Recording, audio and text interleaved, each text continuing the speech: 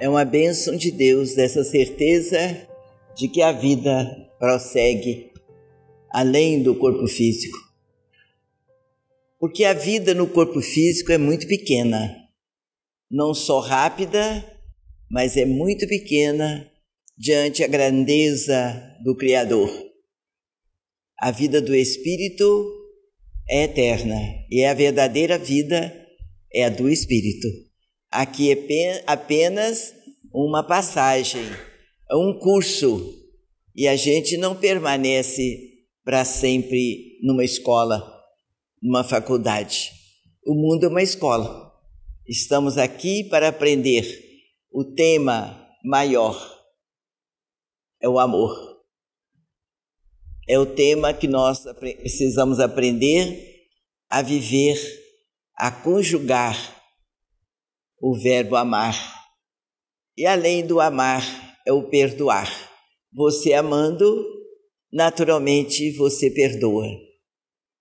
Basta você entender se um ente seu lhe maltratar, você está pronto para perdoar, porque você ama o pai, a mãe, os filhos. Naturalmente você perdoa.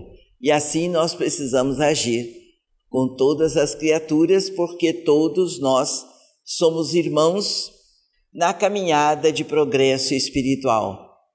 Às vezes na posição de pai, de mãe, outras vezes na posição de filho, de esposa, de esposo. Que maravilha a vida por esta ótica, a família espiritual se encontrando através do corpo físico, da vida física, da vida social. Então, a vida social da doutrina espírita é toda recheada de amor, de fraternidade. E a doutrina espírita tem o trabalho social na continuação e no atendimento da mensagem de Jesus, o Cristo amigo. E nós estamos diante de tantos bilhetes, de tantos pedidos encontrei mais pedidos para os desencarnados do que mesmo para os encarnados. Nós queremos dizer que os desencarnados, quer dizer, o espírito fora do corpo, não precisa tanto de oração. Vamos pensar, a oração vale mais para quem faz a oração, para quem fica porque aquele que já foi já tem a sua bagagem pronta. O Espírito já levou consigo a bagagem que ele acumulou. A prece vai valer como um recado de carinho, não me esqueci de você, Deus te abençoe, mas o progresso, o bem-estar do espírito vai depender exclusivamente da sua bagagem, bagagem que ele formou aqui na Terra, no seu dia a dia, usando do seu livre-arbítrio. Então, a prece vale para quem faz, como um carinho, uma mensagem de fraternidade, mas o importante é aqui. Você ser amigo aqui, você ser caridoso aqui, você ter fé, convicção na eternidade, na nossa irmandade espiritual aqui. Aqui que você faz a bagagem que vai lhe valer para a eternidade. Então aqui é tão importante para nós e a humanidade não entende isto, que é viver a vida física com aquela volúpia, com aquele desequilíbrio lamentável que põe o espírito a perder.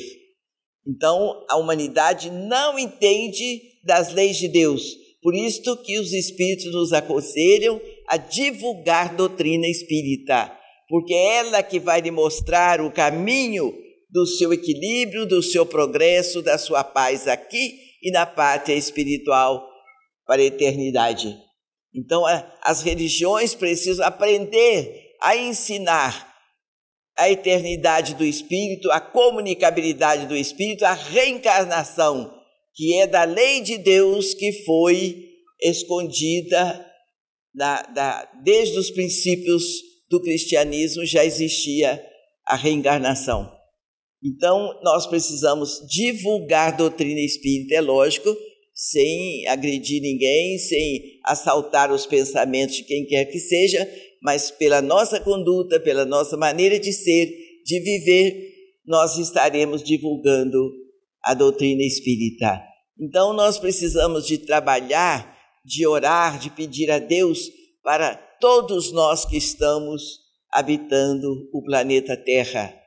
Não há dúvida nenhuma que a prece sempre nos pacifica o coração, porque a gente acha que o nosso pedido vai valer para aquele espírito, vai valer em termos de carinho, mas de evolução de jeito nenhum. A, evolu a sua evolução você vai fazê-la aqui. Do lado de lá você já levou a sua bagagem.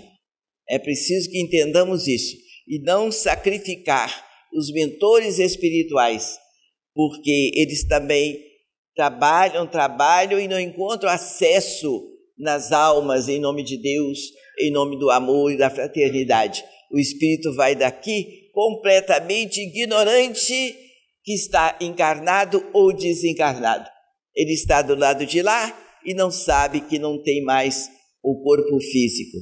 Então, eu quero só lembrar aqui, diante de tantos pedidos, eu tive vontade de falar com os nossos irmãos, uma criança de três aninhos. A criança tem três anos e não quer ficar em casa. Diz que odeia o pai e a mãe e que vai embora. A mãe não sabe o que fazer, pede ajuda. A criança de três anos tem ódio da mãe, do pai, não quer ficar dentro da casa que a acolhe, dentro de três anos de vida física. O que é que essa criança sabe do mundo? O que é que essa criança entende do vizinho, da casa de alguém que é melhor do que a casa dos pais? O que é que essa criança de três anos, se você não entender reencarnação, pode compreender que não gosta do pai, tem ódio do pai e da mãe. E minha gente, vamos pensar um pouquinho. Como que uma criança com três aninhos no corpo físico sabe que tem ódio, entende que aquilo que ela sente é ódio do pai e da mãe e quer sair da casa, da família? Como é que pode, se não a reencarnação? É um espírito velho que veio para reconciliar-se com os pais e ainda não se esqueceu da mágoa que ele trouxe do passado. Só muito amor, só muita prece, muita convicção, muita certeza na proteção divina. É um coração de pai e de mãe cheio de amor e de renúncia para trazer de volta aquela alma ao seu coração, ao seu convívio, e aquela alma sentir que é amada, e que é, é perdoada em tudo o que aconteceu numa existência anterior. É, mas é muito triste você achar que começou a viver naquele bercinho, cheio de fitinha, cheio de florzinha, e depois vai enfrentar uma vida cheia de dores, cheia de dificuldades, cheia de desencantos, cheia de atropelos. Por quê? Se a criança nasceu ali naquele berço, não fez mal a ninguém, não teve chance ainda de prejudicar ninguém. Está aí com 15, 18 anos sofrendo as injunções do mundo grosseiro, materialista e bruto. Só a reencarnação explica. Explica e enche o seu coração de amor, de paz, de confiança, de certeza na vitória do bem. Então, vigiai e orai de Jesus está presente. É importante e nós estamos daqui da mesa falando como se nós fôssemos bonzinhos, como se nós fôssemos certinhos, como se nós estivéssemos obedecendo ao Cristo. Não é assim, meus irmãos. Não é assim. Nós aqui estamos por gratidão a Deus, a Jesus, por lealdade daquilo que nós já recebemos. Nós estamos aqui para dizer que nós devemos muito às leis de Deus porque nós recebemos muito e estamos devendo muito. Por isso que nós estamos aqui, não somos melhores do que ninguém e a nossa, a nosso fardo é pesado de erros do passado. Só trabalhando com amor, com renúncia, dando de graça o que de graça os céus nos dão, é que nós vamos aliviando o peso do nosso fardo. O peso da nossa cruz não foi ninguém que construiu uma cruz para nós. Nós a construímos com a ignorância, com o desconhecimento, com a falta de respeito à vida num passado distante. Acreditamos que não foi nessa, porque somos bem conhecidos desde novinhos. Então, o nosso passado está presente. A reencarnação está nos pedindo trabalho de amor, está nos pedindo renunciar, renunciar o, o tempo que nós devíamos estar passeando, estar vendo televisão, e estamos aqui para dizer, meus irmãos, Deus é nosso Pai, Deus existe, Jesus existe, está vivo entre nós, os Espíritos se comunicam conosco através do sono, nem sempre a gente se lembra, por isso eu falo que ah, eu não sonho, porque eu raramente eu me lembro, então eu falo que não sonho, mas todo mundo sonha, porque você deixa o corpo físico é, é, é, parcialmente e vai viver a vida que você anseia, que você deseja. Se você é viciado, você vai enquanto o corpo dorme, você vai procurar os viciados. Olha só, a responsabilidade do encarnado se você é viciado em qualquer coisa, droga, álcool, fumo, qualquer coisa assim, maledicência, você vai procurar os seus afins. O corpo está dormindo, o espírito vai procurar os seus afins. Se você gosta de estudar as leis de Deus, você vai procurar e vai se encontrar com os leais trabalhadores de Deus, de Jesus, para receber a luz do entendimento. E assim por diante. Então a vida do espírito prossegue. Não existe morte, porque o dono da vida não morre, que é o espírito. O corpo físico não é dono da vida. Então, nós não guardamos, não lembramos do sonho, mas todos nós sonhamos. Eu tive uma vez um sonho, eu me encontrei com um espírito, conheci um espírito no sonho, numa época que o nome dele não era divulgado pela história. Então, estudiosos me informaram que nunca tinha ouvido falar o nome, mas eu tive o sonho e o Espírito me ensinou. Já teve um tempo que eu contei isso aqui, mas há muitos anos. Há muitos anos. Então, é, o Espírito me ensinou todos os tipos de trabalho junto ao Espírito. Me ensinou a macumba, me ensinou a umbanda, depois me ensinou a doutrina espírita, me ensinou como doutrinar o espírito, como orientar o espírito, como orientar os médios. Eu aprendi com os espíritos, não só pela, pela vidência, pela audição, mas também pelo sonho. Então, esse espírito me ensinou todos os tipos de trabalhos que ocupam os espíritos, não espiritismo, mas outras linhas e depois me ensinou a doutrina espírita, que, da graça de Deus, aqui estamos buscando a luz do entendimento através da doutrina dos espíritos codificada por Allan Kardec. É a maravilha da vida. E o espírito, depois que falou direitinho, explicou, ele disse assim: Não se esqueça do meu nome, Jataí. Naquela época, ninguém, ninguém soube informar nada sobre Jataí. Hoje a história já informa, mas naquela época não. Então, quando eu cheguei no centro, eu não tinha assim acesso ao diretor dos trabalhos, mas procurei, esperei na porta, ele sair, ele é sempre cercado pelos amigos, e eu perguntei: o senhor podia me falar é, se tem um espírito o nome Jataí? Ele muito simpaticamente falou assim: Ah, que gracinha, você quer tomar meu guia? Não sabia, nunca tinha dado essa informação, não conhecia. Enquanto ele estava falando, Jataí incorporou nele e me deu uma mensagem muito bonita que eu guardo na minha alma.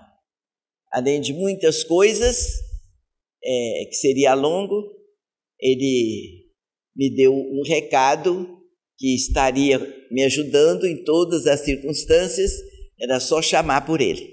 E muita coisa bonita vem dentro desse, dessa orientação. Eu tive o sonho, conheci pelo sonho E ele, então, incorporado, confirmou o nome dele e deu informações sobre o trabalho dele, que ele estaria conosco, está sempre conosco.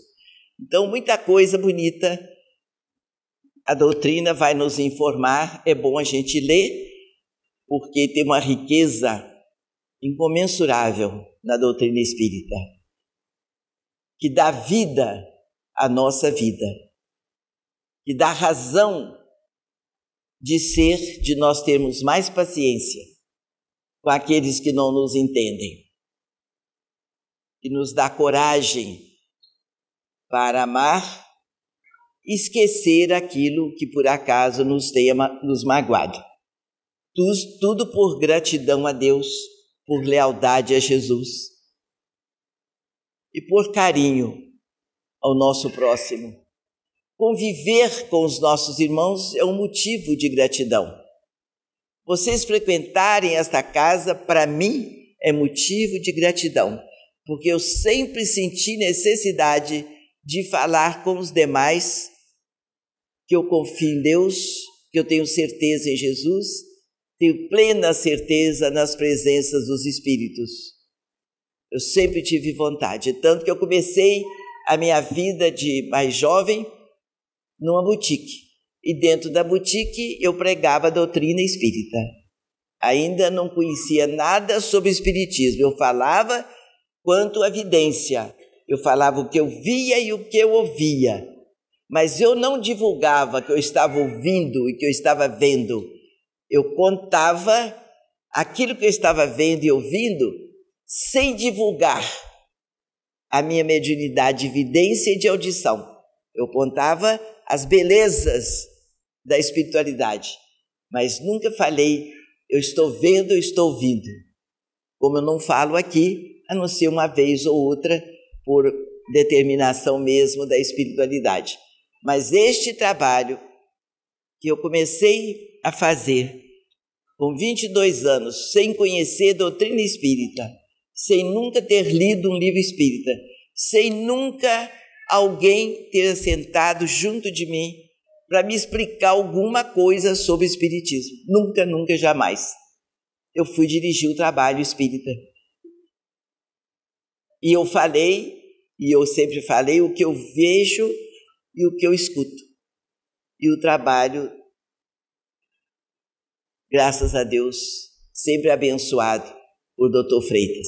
É esse espírito e toda a sua equipe, em nome do Cristo, que eu devo a minha alegria de viver. Embora a minha idade já avançada, naturalmente o corpo físico já não me permite fazer o que tudo, tudo, tudo que meu espírito quer ainda realizar mas a alegria, a gratidão, a felicidade são os mesmos sentimentos dos meus 22 anos. Antes dos 22, eu tinha emoção. Eu falava porque via e ouvia, mas eu não sabia que eu estava certa. Eu tinha receio de que fosse só eu que pensava daquele jeito. Eu tinha medo que era só eu que via aquelas coisas. Com a doutrina espírita, eu tive convicção ela, ela me deu a liberdade de falar. Você está certa, pode falar sem medo. Tudo que eu sabia que eu falava estava lá dentro da codificação de Kardec. Então eu quero, estou falando isso, meus irmãos, é para passar para vocês essa certeza. Se estão aqui dentro é porque confio nesta casa, confio neste trabalho.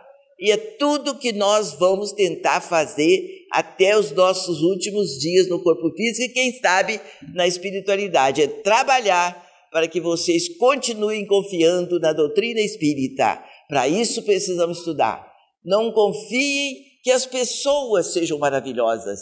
A gente não consegue ser o que o Cristo nos pede, mas só de você fazer a sua opção para o Cristo você já ganha uma nota bem razoável nos planos espirituais superiores. Só de você falar, eu vou estudar a doutrina espírita e eu quero ser espírita. Eu vou aprender para seguir o Cristo, sem medo da cruz. Ninguém vai fazer cruz para você. A nossa cruz é feita por nós mesmos na oficina da descrença. Então vamos estudar a doutrina para que haja convicção no nosso sentimento, na nossa palavra, no amor que nós queremos viver, na paz que nós queremos sentir. Que Jesus nos dê a todos a sua paz. Assim seja. Graças a Deus.